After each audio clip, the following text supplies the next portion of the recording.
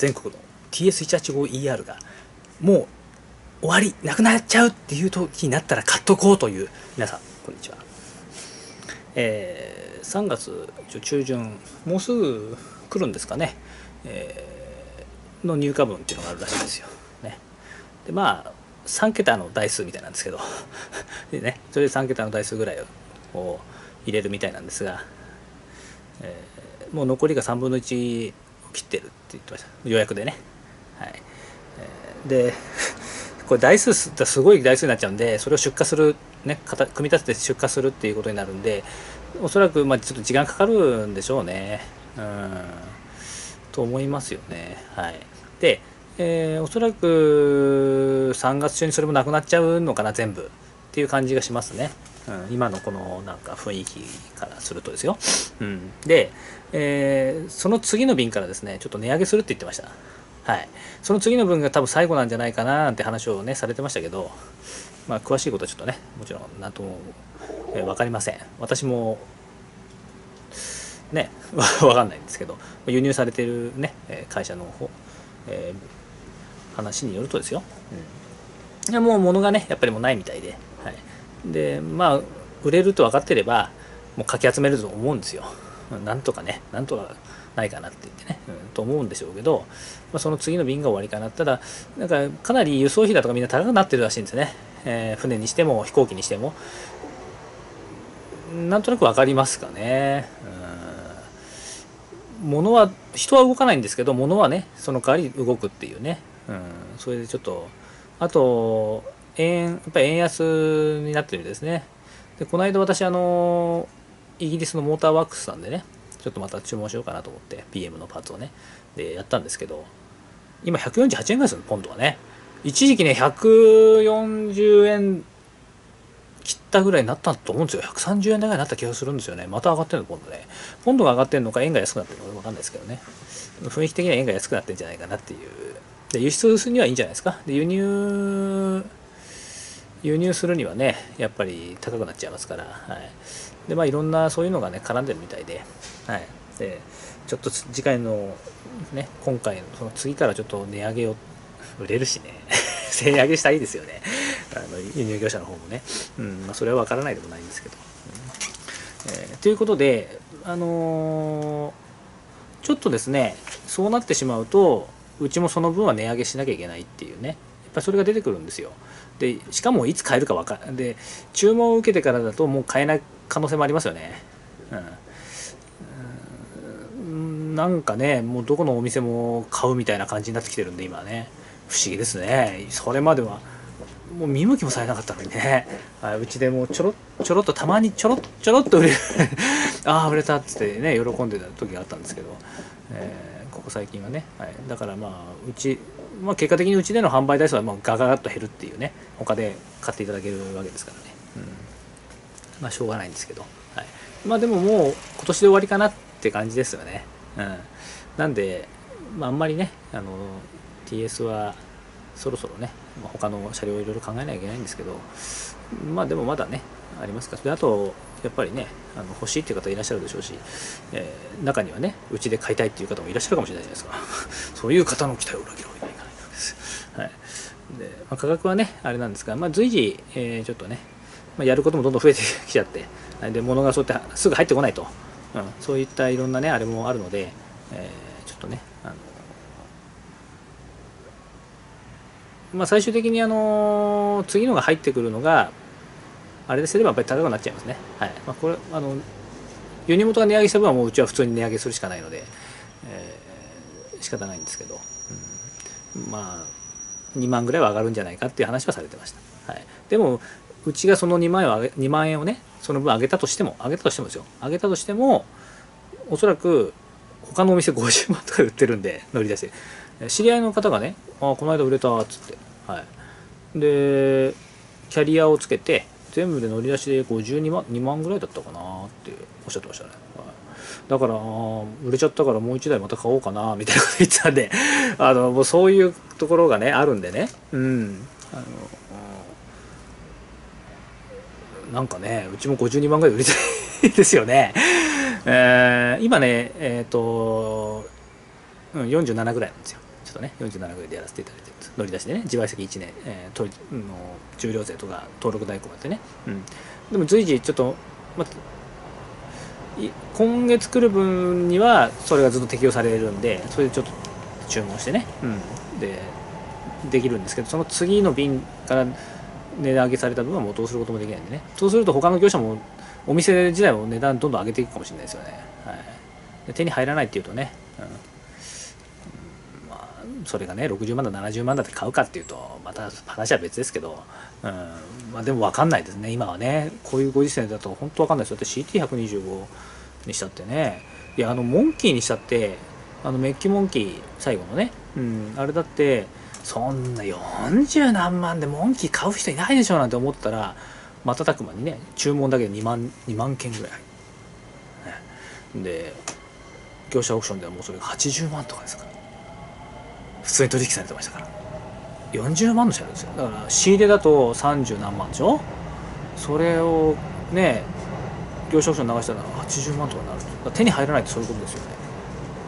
本当に。でチェックのモンキーは35万ぐらいだったんですか？チェックのモンキーね。最後あの限定車ね。あれもあれ注文普通に受けてたんですよ。ホンダは、うん、だから別に注文すれば買えたんですけどあれももう買えないって分かったら50万とか普通に言ってましたからね。業者オークションで。終わってから。それにあのだからもう買おうと思った時買った方がいいです。うん、それはもう間違いないと思いますね。欲しいんでありますよ。欲しくないのは全然興味ないのに、あの買ってもしょうがない。まあ、投資？あれですからね、うん、まああのまあどちらにしてもね、えー、楽しむもの投資投資っていうほどのあれではないかと思いますかね、うん、楽しむねいただければと思ったりします。はい。まあ高くなっちゃってからね買ってね楽しむっていうのも一つなんですけど、うん、しかもほらだって待った分があるでしょ。革がなかった。待った分があってしかも高く買うわけでしょその分だって今今買って楽しめるわけですから。ちょっと前までほらね買ってる方もそれで十分楽しんでね。なんか最近高くなったんだよねって。買った金額あんまり変わんなくなっちゃったよねなんて。ありますか？らありますよ。TF125 なんかそうじゃないですか、はい、うちで一番安く売った時で買った方はあの下取りとかで高逆に高く売れちゃった そういう感じですよ。はい。本当にあのいいですね。状態良くないとダメですからね。あんまりボロくなっちゃうとねさすがにあれですけど。まあそんなところでですね、えー、買おうと思ってる方はね、まあ、まあお近くのお店とかに並んでると思うんで今はね全国でも本当に、うん、いろんなところに置いてるみたいですから。ちょっと前まではね去年のえっ、ー、とねあれですよ去年のだから5月ぐらい6月ぐらいグーバイクなんかどこも乗ってなかったんですよ。でどこも載ってないからうちにあの連絡来たんですよね。はい。えー、あ7月かな。7月そう。でまあ雑誌のほらあれがあって。でねえー、あれも元チャンプでしたっけ？元チャンプさんが中でね。あったじゃないですか。でちょっとねあれさせて。であの、あそこのあれで載ってる方いるじゃないですか。であとコメント書いてる方ね。えー、後藤さんという方ですね。でその方の、まあ、知り合いで,、うん。えー、で買えるんですかってね言われたんで「あ買えますよ」って「あなんか東京じゃどこも乗ってないんですよね」って「グーバイクとか見てもどこも乗ってないんで」ああそうなんですか」で持ってったんですよ。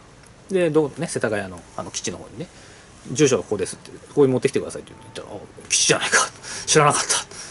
そうそういう経緯ですよ。だそれでね多分お腹が鳴ってる。なんでですか？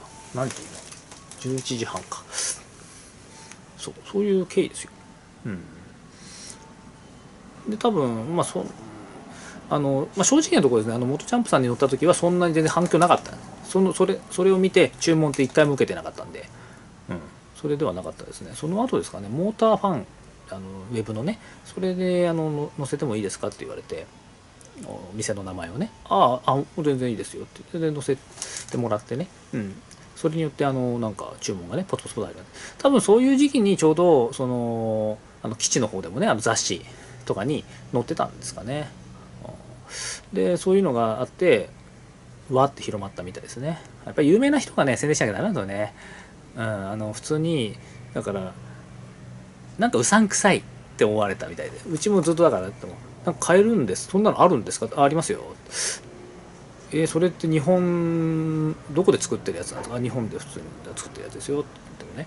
はあそうなんですか？みたいな感じでね、うん、あのなかなかあの買っていただけなかったです。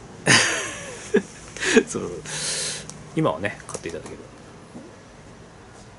ありましたね去年のね。だからその末ぐらいからですよね。バブルなんですか？輸入業者も大変だと思いますよね。あれ組み立て。ていっぱい出ると。ちょっとね大変だと思いますよ。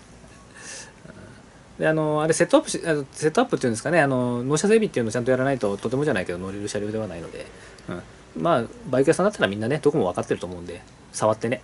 うわこれあこれやんなきゃダメだあれもやんなきゃダメだっていうふうにね、分かってると思うんであの、まあ、どこで買ってもね問題ないと間違いはないと思います、うん、そんな別に、はい。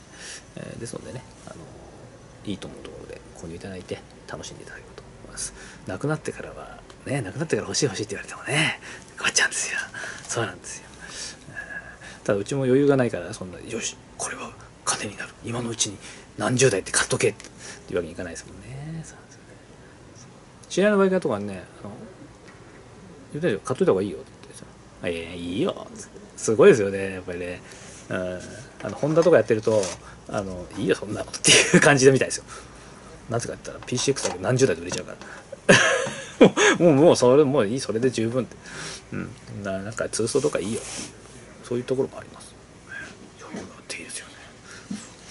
ホンダのバイクが出るから出出出れば出るほどどんどん売れちゃうの物がないからなおさらもう注文だけ来てどうしようどうしようってやってますからねそれに比べたらね鈴木さん頑張んないとね日本日本で売らないなんか輸出してるやつが日本に帰ってきていっぱい売れてるんじゃしょうがないですもんねそれじゃちょっとねあれですから、うんはい、まあそんなところでねあのまあお分かりかと思うんですけどなくなったら高くなってきます、うん、もうそういう世界です、うん、であともうもう最後だなんていうといわゆるね、えー、業者の方も高くするね。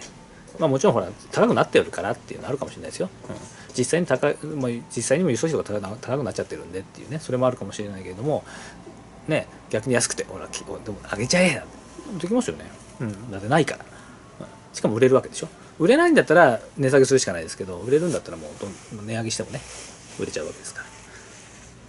ちょっと1台あたりちょっと1万円ぐらい上げとこうよすると1台1万円だと100台あったらいくらですか？100万でしょ？大したことないですね。そんなことないだそそんなもの2000万がいかないですかいかない。あいかない。まあ、まあでも大きいですよね。いろいろ考えさせられます。はい。ということで TS185 を買うなら早めに買った方がいいですよ。あ別にうち大丈夫です。どこでもあのお近くのね、えー、バイク屋さん行って購入いただける今はもうどこでも買えますから。あのやってますから、買っていただければと思います。ただまあ間もなく買えなくなるの。あもしくは最初段階的にまず値上げされてその次なくなって終わりっていうね、うんえー、そういうことになると思いますから、あの欲しい方は早く手を打っていただければと思います。ええあのそれでうちに声かけていただけるともちろんうち私が嬉しいっていうだけのことでございますからね、えー、まあそれはまああれですけど。もちろん今日この車両買っていただければ嬉しいですけど。ということで失礼します。